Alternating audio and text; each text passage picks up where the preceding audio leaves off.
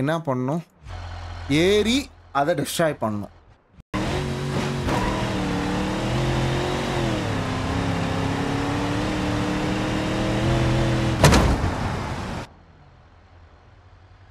அவ்வளோதான் பாய்ஸ் முடிஞ்சது.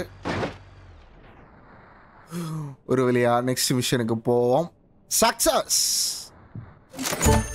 ஃபஸ்ட் ஏ